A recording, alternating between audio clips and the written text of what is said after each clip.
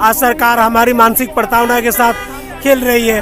हम लोग जाए तो कहाँ जाए? यार, दर दर भटकने के लिए हम लोग तैयार हैं। हम पीएचडी छात्र हैं। हम पढ़ लिख के आज सड़कों पर भटक रहे हैं। भाई, चराने के लिए मजबूर है। दस लाख युवाओं को नौकरी देने की बात करके संदेश देना चाह रहे हैं कि देखिए, आज आप आप सरकार में आज आपकी भी स्थिति इस बहस के समान हो गई है। इसीलिए पढ़े लिखे युवाओं का आप सम्मान नहीं कर रहे हैं। आप संविधान यात्रा कर रहे हैं। कैसा संविधान क्या युवा क्या युवा के लिए किया छह महीना से? हम पूछना चाहते हैं। युवा के सरकार है तो छह महीना से क्या किए? एक आध को लिस्ट बता दीजिए जो युवाओं के लिए काम किए हैं। हम अभी भी मौका है तेजस्वी जी के की बहाली दीजिए आज सीएम के कुर्सी बैठिए।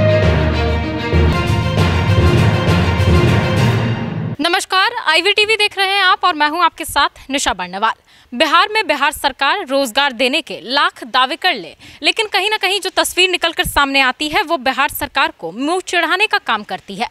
दरअसल कहीं यहाँ, कभी तो यहाँ पर बिहार में पेपर लीक हो जाता है, कभी बीपीएससी के छात्रों पर लाठियाँ भांजी जाती है तो कभी पीएसएससी का भी पेपर लीक हो जाता है, जिस वजह से छात्रों को काफ़ी परेशानी होती है। वहीं अब जो मामला सामने आया है, वो एस के अभ्यर्थियों का है।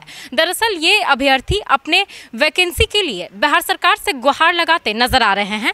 इनका कहना है कि हम इतने पढ़े लिखे होने के बावजूद भी क्या करें? दरअसल इनका कहना है कि अभी तक एस टी नाइनटीन की नोटिफिकेशन नहीं आई है, जिस वजह से इनके सामने रोज़गार की नहीं होने की स्थिति उत्पन्न हो गई है। इन्हें रोज़गार नहीं मिल रहा है। वहीं बिहार सरकार एक तरफ़ तो समाधान यात्रा में करने में लगी है, लेकिन युवाओं के समाधान का क्या?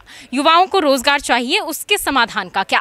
सबसे पहले तो देखिए क्या कुछ कहना है इन अभ्यर्थियों का। आज हम लोग करे तो जाए तो कहाँ कहाँ स्टेट 19 का सिर्फ़ नोटिफिकेशन चाहिए हमको। स्टेट 19 का सिर्फ़ नोटिफिकेशन चाहिए और कुछ नहीं सिर्फ़ स्टेट 19 का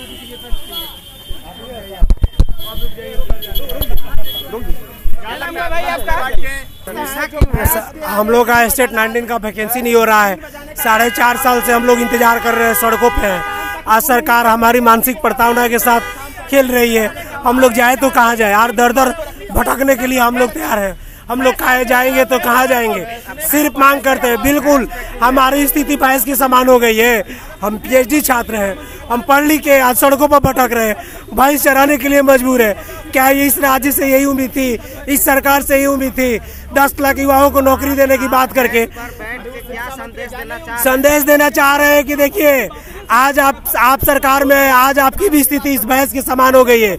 इसीलिए पढ़े लिखे युवाओं का आप सम्मान नहीं कर रहे हैं। आप संविधान यात्रा कर रहे हैं। कैसा संविधान कैसा संविधान आपके राज्य में अस्सी हज़ार चार सौ दो वेल क्वालिफाइड लड़का साढ़े चार साल से अपनी नौकरी अपनी समाज में प्रतिष्ठा बनाने के लिए आपकी पर... तो हैया नहीं है महाराज। कैसे जाहिलों को बैठा दिया है? कैसे आप कहिएगा नहीं है? बिल्कुल। है, सामने प्रोफेसर किस काम के प्रोफेसर जिसको आप पता नहीं है कि किस है हमारे बिहार के शिक्षा व्यवस्था सुधरेगा तो ऐसे प्रोफेसर के लात मारिए। अभी तो लिख रहे हैं भाई युवाओं में प्यार क्या युवाओं क्या युवाओं के लिए किया छह महीना से हम पूछना चाहते हैं? युवा के सरकार है तो छह महीना से क्या किए?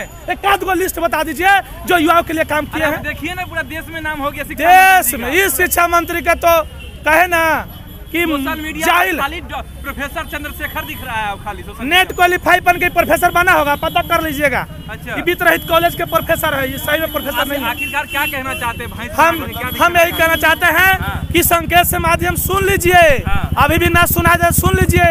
नहीं तो फिर कालिक पताला बाकी है आपको। अच्छा। हाँ छोड़ेगा जनता नहीं है तेजस्वी जी तेजस्वी जी क्या कहना चाहते हैं? तेजस्वी जी हाँ। युवा हैं। हाँ।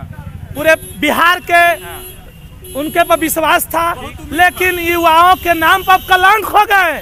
क्योंकि छह महीना से युवा के लिए कोई काम नहीं किए कोई हैं। काम नहीं कोई काम नहीं। तो 2025 में क्या हम अभी भी मौका है तेजस्वी जी के अच्छा। कि बहाली दीजिए आज सीएम के कुर्सी बैठिए।